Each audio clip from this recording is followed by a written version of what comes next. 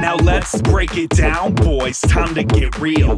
I like the look, the taste, and how a dick feels.